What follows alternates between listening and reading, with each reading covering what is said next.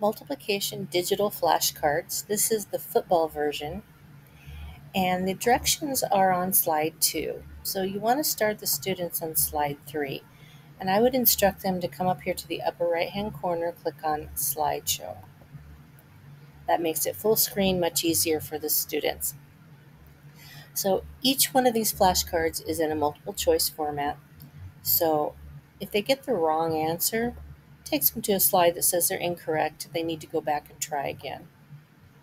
When they get the right answer, tells them they did a good job and they're going to click next to go to the next problem. So it continues like this through the game. There are 72 different flashcards for multiplication facts um, 0 through 12. So instant feedback for the students. It's a lot of fun and it's football themed. So um, when they get to the very end,